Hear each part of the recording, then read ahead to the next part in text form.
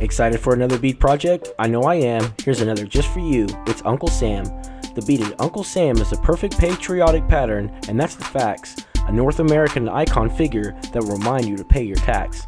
With this unique color scheme and iconic clothes, you can definitely tell it's this guy from its head to its toes. This pattern is great, it's a simple design, and it's easy to make. So let's get ready for this tutorial to satisfy your creative needs. Feel free to give this video a like and enjoy this episode of TurboBeads.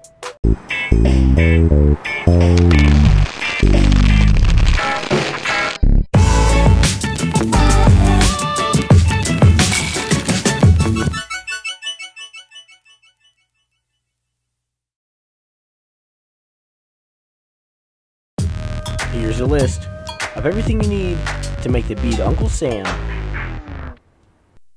Before starting this project, I'm just letting you know that I'm using. Getty strings made by Pepperell Braiding Company. It's a round plastic lace that comes in a 50 yard spool, has a bit of flexibility to it, and it works great. With that being said, I'm just keeping you informed and letting you know that this is a personal choice. This is not a sponsored video. To make the beaded Uncle Sam, we'll start out by using the straw technique. What we'll do is we'll take a straw and split it down the center by cutting it with scissors. So just watch close as I carefully cut the straw down the center. Splitting the straw down the center will make it easier to add beads to that straw. Basically, what we're doing is we're using that straw as a stabilizer for the rows of beads which will keep them straight, aligned, and in place. Now that that straw is split down the center, we're going to add 3 beads to that straw. That's 2 red beads with a white bead in the middle. This is what it should look like. Now that we have those beads on the straw, we'll carefully cut off the end of that straw, keeping it from showing through the sides, keeping that straw hidden within those beads. Then from here, we're going to take 3 foot of string and add that row of stabilized beads to that string. Once you get those beads on the string, you're going to match up both ends of string, pushing those beads toward the center. This will ensure that you have the same length of string to use on both sides. So just continue watching as I push these beads toward the center of the string. This will be the first row of our pattern. Let me be sure to mention that you want to ensure that these beads stay in the center of the string. Making the next row is just as simple. Again, we're going to use the straw technique by adding 3 beads to that straw. That's 2 red beads with a white bead in the middle. Once you have those beads on the straw, remember you'll carefully cut off the end of that straw, keeping it from showing through the sides. Of course, leaving that straw hidden within those beads. Once we have that row of stabilized beads, we're going to take one end of the string and add those beads to the string. Then we're going to take our other end of string and run that string through all those beads as well, going in the opposite direction. Once you get that string through all of those beads, with both ends of the string coming out of each side, you'll pull both ends of the string until you've reached the top, bringing all of those beads together. As you'll see, creating additional rows for this pattern is pretty simple. Again, you'll add your beads to a straw, cutting off the ends of that straw, keeping it from showing to the sides. Then, taking one end of the string, adding those stabilized row beads to that string, then taking your other end of string and running it through all of those beads as well, going in the opposite direction. Again, once you get that string through all of those beads, with the string coming out of each end, you'll pull both ends of that string until you've reached the top, bringing all of those beads together. So from here, we'll just continue repeating the same steps, creating additional rows, following the pattern as seen at the top of the screen. When assembling this project, be sure to take your time when putting each row together, ensuring that you place the beads in the correct order as shown at the top of this video so that the image looks as it should, being sure to pull both ends of the string evenly to maintain the same length of string on each side, pulling each string just enough to keep those beads in a tight formation. Once you finish the seventh row, it's time to create the arms for this pattern. To make the arm, we'll take one end of the string and we'll add three blue beads to that string. Then we'll add a tan bead to that string as well. That's a total of four beads. This is what it should look like. When you have those beads on the string, you'll run them towards the top. Then from here, we're going to use that same end of string and we're going to run that string to the three blue beads that were added to that string going in the direction toward the pattern. Again, watch close as I guide the string through these three blue beads, giving you a clear visual reference of how to run the string through these beads. So once we get that string through those three blue beads, what you'll do next is you'll be sure that those three blue beads are pushed toward the center of that pattern with the other beads, just like this. Then you'll hold those beads down in place, pulling that string all the way through until the beads come together, creating the arm looking just like this. Now that we've created this arm, let's go ahead and create another. Making the next arm, we'll use the same steps. We'll take the other end of string and we're going to add three blue beads to that string, followed by a tan bead as well. Once you have those beads on the string, looking just like this, you'll run those beads toward the top. Just like we've done before, using that same end of string, we're going to run that string to the three beads that were added to that string, going in the direction toward the pattern. So just watch close as I guide the string to these beads. Once you get that string through those beads, you'll be sure that they're set in place, holding them down, pulling the string all the way through until the beads come together to create the arm, looking just like this.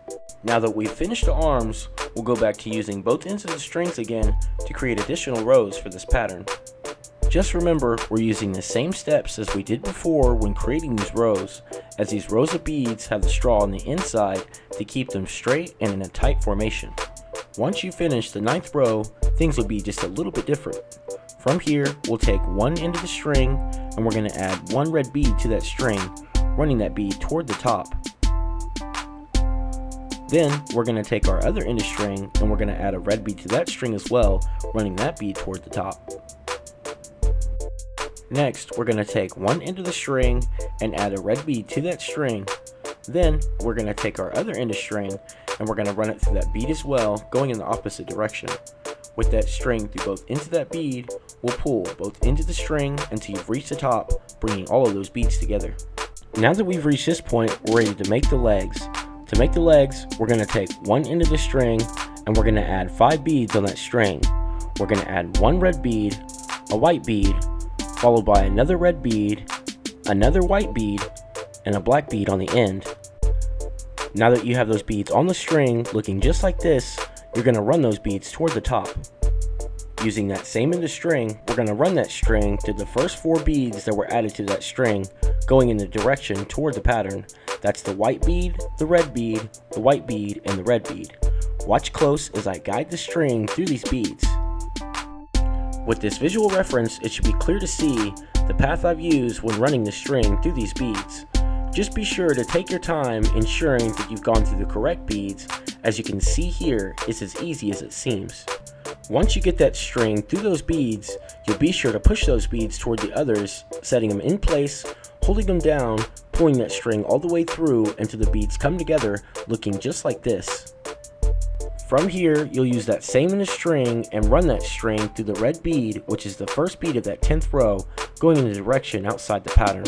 Watch close as I guide the string to this bead, pulling that string all the way through until everything comes together, looking just like this. With this first leg finished, let's go ahead and create another. Again, we'll take the other end of string and we're going to add 5 beads to that string. Starting with one red bead, a white bead, another red bead, another white bead, and a black bead on the end. When you have those beads on the string, you'll run those beads toward the top.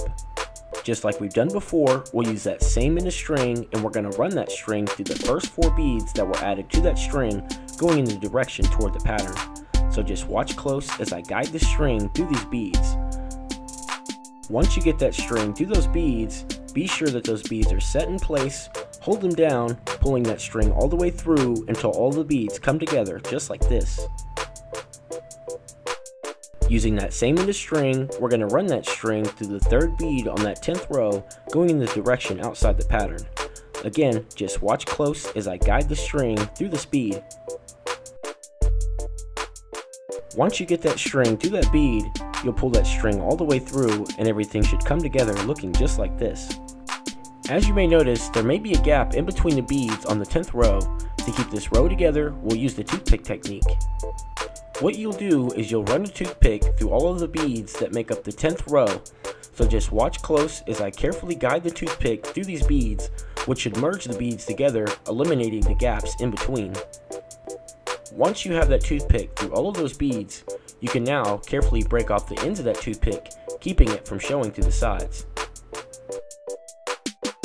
With that toothpick hidden within those beads, you'll now tie off each end of the string with a knot to lock all of those beads into place. When tying your string together, be sure that your knot is tied nice and secure to ensure that everything stays locked into place and holds together. Again, you're tying off both ends of strings with a knot that are tied solid and secure. With this visual reference, it should be easy to see that tying a string in a knot is as easy as it seems.